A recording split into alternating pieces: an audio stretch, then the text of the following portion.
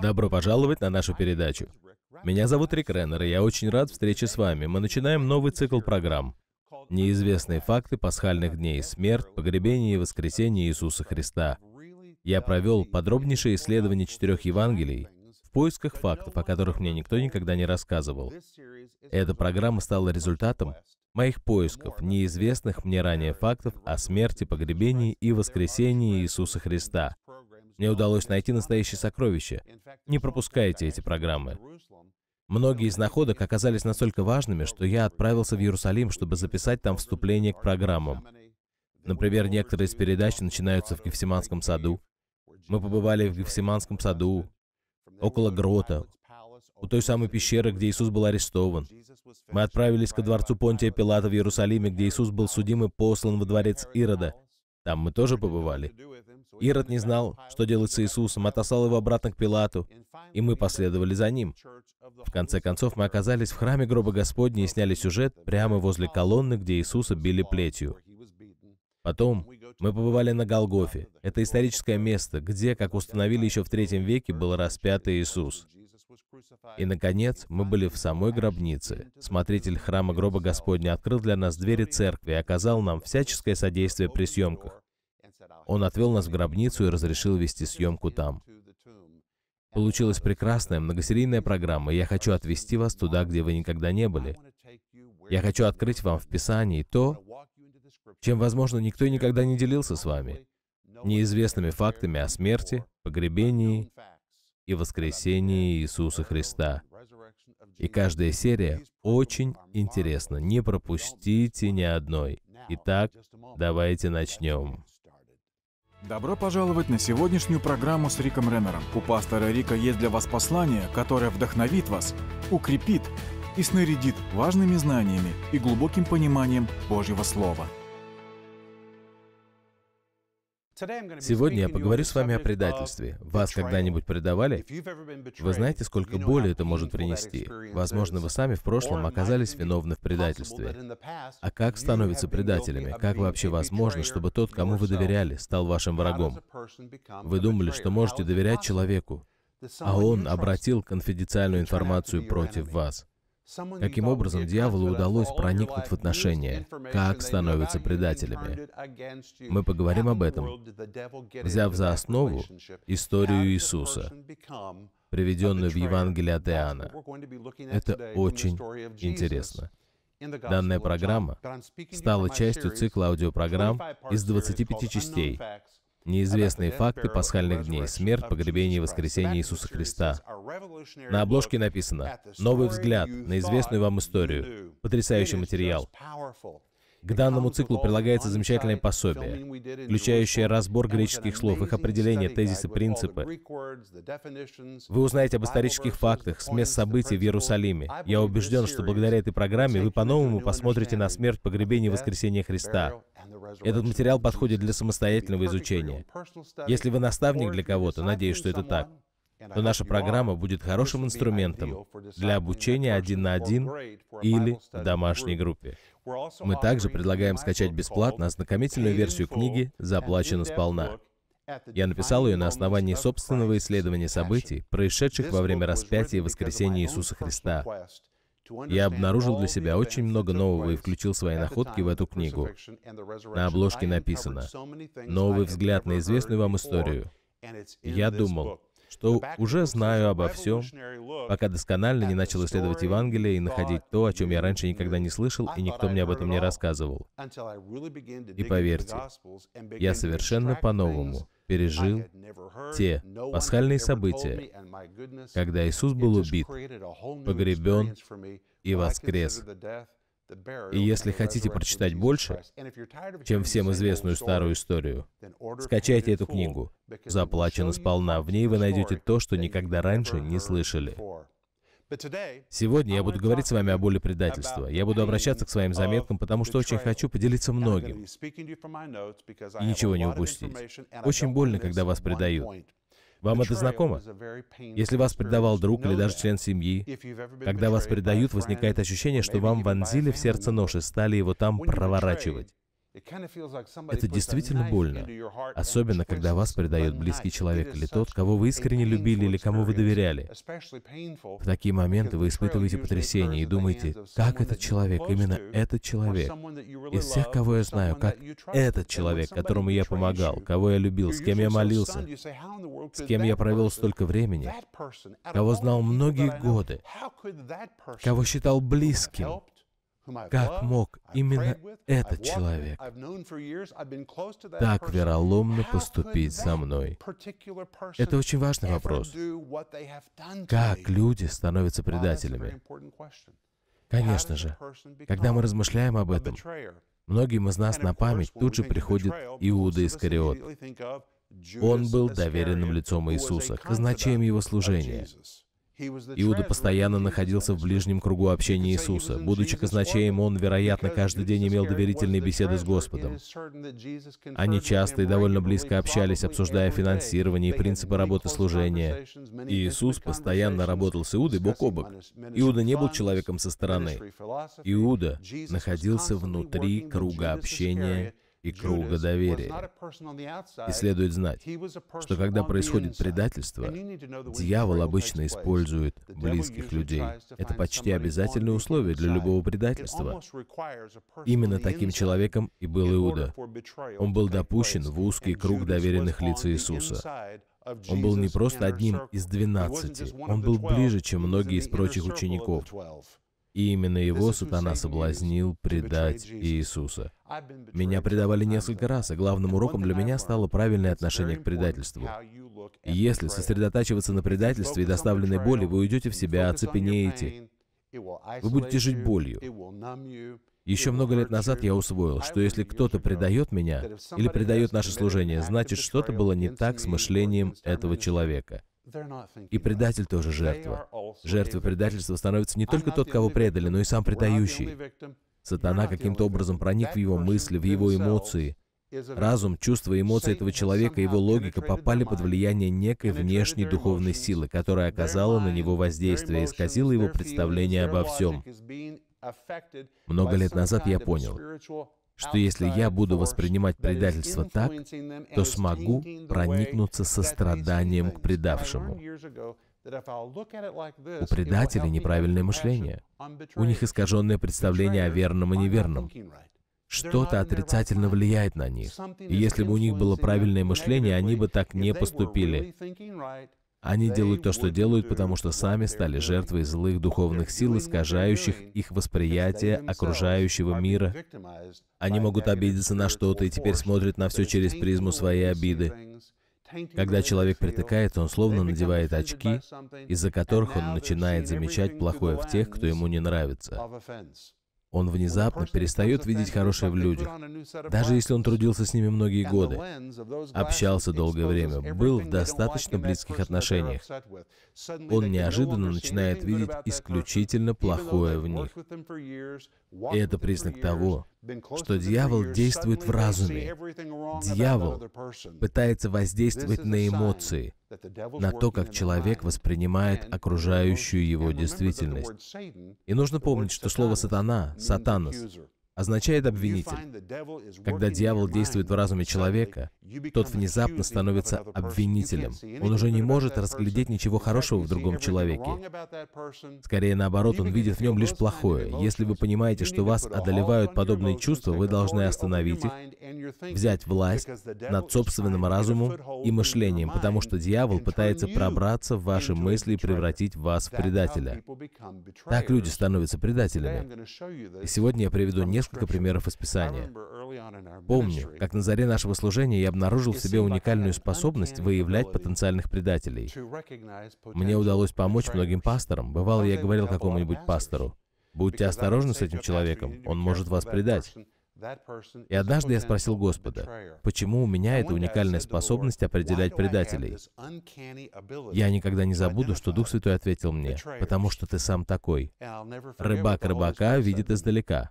И в тот же момент Дух Святой обличил меня и показал мне, как я в свое время совершил предательство. Я сам был таким. Однажды один служитель, который был намного старше меня, принял меня в свое служение. Я был молод, образован и, по правде говоря, очень умен. Мне очень хорошо давался греческий язык. Однако я был весьма неопытным и юным. И этот замечательный, видный пожилой человек заметил меня, отнесся ко мне с любовью, поверил в мой потенциал и решил, что вложит в меня всю свою жизнь. И это было прекрасно. Я помню, как мы встречались каждое утро в половине шестого, и он наставлял меня. Говоря каждое утро, я имею в виду каждое утро. И в 5.30 утра ежедневно он ждал меня. Подумайте, этот пожилой, благочестивый человек, богослов, блестящий, владевший библейскими языками, взял меня под свое крыло и наставлял меня во всем учил меня оплачивать счета, обвенчал меня и Денис. Он развивал во мне навыки, необходимые для служения. Этот человек буквально вложил всю свою жизнь в меня. И поскольку я постоянно был рядом с ним, я начал сиять. Люди стали замечать меня, а я начал думать о себе слишком много. Я решил, что из-за моего величия ко мне приходит признание.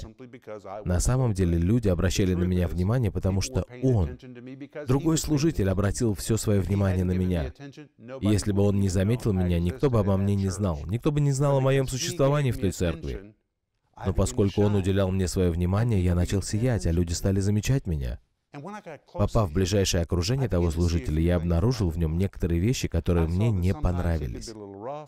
Порой он мог быть грубоватым, неблагодарным, непризнательным, требовательным.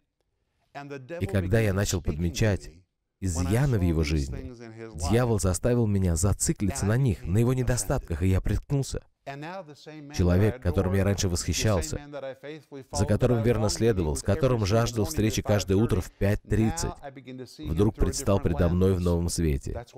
И поэтому теперь я могу сказать, что знаю, о чем говорю. Я перестал замечать что-либо хорошее в нем. Я лишь видел, что он неблагодарный, излишне требовательный и жестокий человек, который только и умел, что раздавать приказы направо и налево.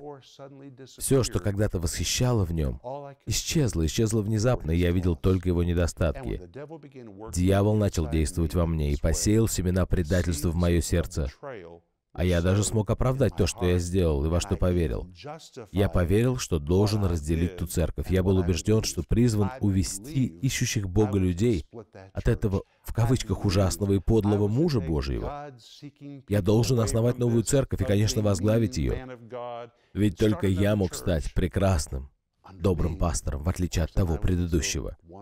Я просто поддался обольщению. Как известно, обманутые часто думают, что поступают правильно, и я был убежден в своей правоте. Я мог оправдать все свои действия, я настолько заблуждался, я поддался обольщению и причинил тому служителю очень много вреда, много боли. Я нанес большой ущерб его церкви. Но если бы я был в здравом уме, то я бы никогда так не поступил. Рик Реннер не такой, Рик Реннер так не поступает. Это был просто юный Рик Реннер, чье мышление оказалось под пагубным влиянием злых духовных сил. В период становления моего служения Господь сказал мне, «Ты не сможешь возрастать, пока не восстановишь свои отношения с тем слушателем». Господь потребовал, чтобы я отправился к нему и попросил у него прощения, принес ему свои извинения и оказывал ему поддержку до конца его дней. Так я и поступил. В конце концов, он стал моим другом на всю жизнь. Я любил его, уважал его и с большим удовольствием поддерживал финансами его и его служение, пока он не пошел на небеса. Но я должен был восстановить свои отношения с ним, разобраться с этой проблемой в своей жизни, прежде чем я смог двигаться дальше. Господь так и сказал мне, «Ты не сможешь возрастать. Ты не будешь благословен, пока не вернешься к началу и не удалишь то недоброе семя, которое ты посеял в собственное будущее».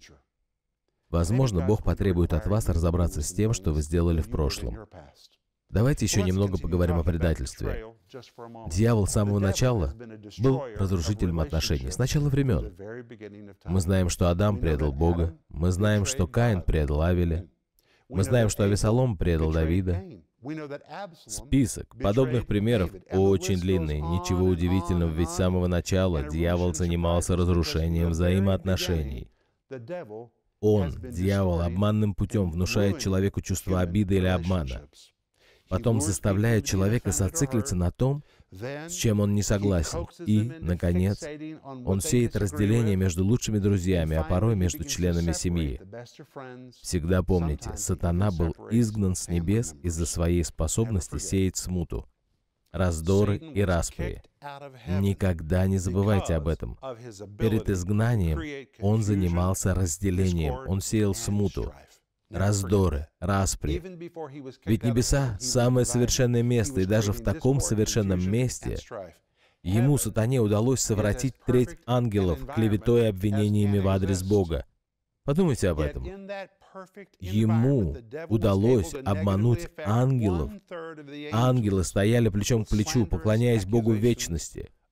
Но, когда Люцифер окончил свою агитационную речь, ангелы разделились, ополчились друг против друга. Небеса охватила сумятица из-за клеветы и обвинений. Если дьяволу удалось убедить ангелов, которые обладали блестящим интеллектом, великой мощью, то представьте, насколько проще ему обольщать людей, которые постоянно борются со своими эмоциями и чувствами. Дьявол — настоящий профессионал по созданию конфликтов, раздоров и расприй. Он знает толк в разделениях. Он специалист в этом. В Евангелиях мы находим яркий пример того, как дьявол может совершить подобное. Это история Иуда Искариота. Иуда соблазнился. А какую зацепку использовал дьявол в душе Иуды? Об этом мы читаем в Евангелии от Иоанна 12, с 1 по 8 стих. Послушайте, что сказано в Библии. «За шесть дней до Пасхи пришел Иисус в Вифанию, где был Лазарь, умерший, которого он воскресил из мертвых. Второй стих. Там приготовили ему вечерю, и Марфа служила, и Лазарь был одним из возлежавших с ним. Третий стих. Мария же, взяв фунт нардового, чистого, драгоценного мира, сколько стоило это вещество? Его цена равнялась годовому доходу. Оно было очень дорогим, поэтому сказано, что оно было драгоценным. И она помазала ноги Иисуса и вытерла волосами своими ноги его, и дом наполнился благоуханием от мира. Тогда один из учеников его, Иуда Симонов Искариот, который хотел предать его, сказал, «Для чего было не продать это мира за 300 динариев и не раздать нищим?» Шестой стих. Сказал же он это не потому, что заботился о нищих, но потому, что был вор. Он имел при себе денежный ящик и носил, что туда опускали. Он был казначеем в служении Иисуса. Теперь посмотрим седьмой стих, где Иисус отвечает Иуде. Помните, что Иуда спросил, Зачем такая напрасная трата? Он выразил свое несогласие с происходящим. Он решил, что Иисус чересчур расточителен. Иуда выступил против того, что делал Иисус. У него не было такого права, но он начал перечить Иисусу. Он был обеспокоен тем, как Иисус распоряжался деньгами. Он был озабочен тем, какие решения принимал Иисус. И он выразил свое несогласие с Иисусом. Он начал обвинять Господа. Что мы делаем? Давай лучше продадим мир и раздадим деньги нищим. И Иисус же сказал, оставьте ее. Она сберегла это на день погребения моего. Прочитаем восьмой стих. «Ибо нищих всегда имейте с собой, а меня не всегда. В этих словах истина. Но попробуйте поставить себя на место Иуды. Вы отвечаете за деньги. Временами вы подворовываете, но на вас возложена финансовая ответственность. И вы видите с вашей точки зрения настоящее расточительство. Почему она напрасно тратит мира? Я не согласен с тем, что делает Иисус. Почему Иисус позволяет ей так поступать? Мы же могли бы это продать и пустить вырученные деньги на нужды служения, неразумное распоряжение средствами. Иисус же ответил, «Оставьте ее», пророчески сказав, «Она сберегла это на день погребения моего». И добавил, «У вас всегда будут нищие, а я нет». Это тоже была правда. Но если бы вы были на месте Иуды, то как бы вы восприняли эти слова? Возможно, вы бы подумали, какое высокомерие. Как ты смеешь так говорить? Что значит, у вас всегда будут нищие? О них можно позаботиться позже, а я не всегда с вами. Как же так? Это стало моментом преткновения для Иуды. Он соблазнился о том, как Иисус распоряжается финансами. Иуда ошибочно истолковал слова Иисуса и решил, что Иисус чрезмерно надменен и не желает заботиться о нищих. Иуда соблазнился, приткнулся. И в этот момент преткновения в его сердце открылось окно, открылась дверь, куда дьявол заронил семя предательства. Откуда мы это знаем?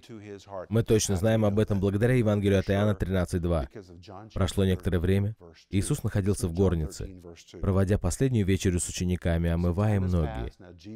И в этой чудесной атмосфере, в этот прекрасный момент, в Евангелии от Иоанна, 13 главе 2 стихе сказано, «И во время вечери, когда дьявол уже вложил в сердце Иуды Симонову Искариоту предать его, здесь употреблено слово «уже», которое указывает на то, что это произошло раньше.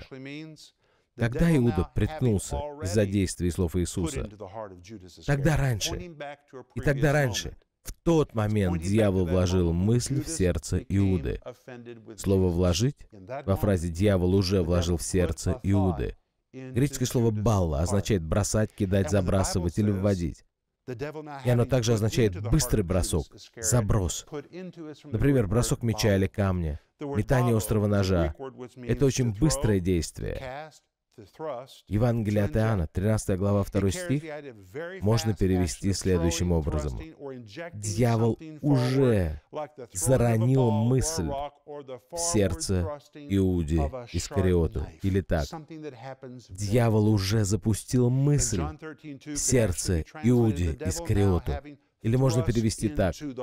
Дьявол уже насильно внушил мысль в сердце Иуде Искариоту. Или даже так. Дьявол уже внедрил план в сердце Иуде Искариоту. Важно понимать, что греческое слово «балла» говорит о том, насколько стремительно действует дьявол. Все происходит с молниеносной скоростью. Когда в сердце Иуда открылась лазейка, дьявол моментально внедрил в него семя предательства. Оно проникло в душу Иуда и стало отравлять его. Вместо того, чтобы пленить свои мысли и разобраться в себе, Иуда начал размышлять о том, из-за чего приткнулся. Точно так же, как я был не в состоянии разглядеть в своем пасторе ничего хорошего, Иуда начал смотреть на Иисуса через призму обиды, преткновения. Эти размышления попали в питательную среду, внутри его души. Момент соблазна стал открытым окном, через которое сатана заронил семя предательства в сердце Иуды Искариота. А с вами происходило что-то подобное? Удавалось ли дьяволу вложить обиду в ваше сердце? Возможно, такое было с кем-то из ваших знакомых. Что-то подобное происходило. Когда вы обвиняете кого-то, постоянно обвиняете, ищете недостатки, это указывает на действие дьявола. И вы должны научиться пленять свои помышления управлять собой. Если вы знаете, что кто-то стал плохо к вам относиться, вам нужно проявить сострадание к этому человеку, потому что его разум, его эмоции подверглись демонической атаке. Ведь если бы этот человек был в здравом уме, он бы никогда так не поступил с вами. И сейчас он, очевидно, находится под воздействием злых духовных сил, которые подстрекают, обманывают и мучают его.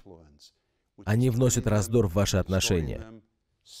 Молитесь за этого человека, проявите к нему сострадание, верьте в его освобождение и прощайте его. Если вами овладеет неприязнь, знайте, что именно этого дьявол и добивался. Дьявол стремится к уничтожению вас, того, кто вас предал. И если вы позволяете неприязни быть в вашем сердце, неприязнь изолирует и уничтожит вас. Не позвольте этому случиться. Я скоро вернусь, чтобы помолиться за вас. От дворца Понтия Пилата и до самой Голгофы каждый свой шаг распятию Иисус сделал, думая о вас. Библия говорит, что Иисус умер, чтобы заплатить сполна за наши грехи. В книге «Заплачено сполна» Рик Реннер подробно рассказывает о последних часах жизни Иисуса на земле. Из этой книги вы узнаете о естественных и сверхъестественных деталях встреч и разговоров на пути Иисуса Христа от Гефсиманского сада до Голговского креста. Заплачено сполна. Это захватывающее повествование о любви и искуплении. более глубокая и детальная, чем история, которую обычно рассказывают в воскресных школах. Скачайте ознакомительную версию книги «Заплачено сполна. Важнейшие истины и факты христовых страданий».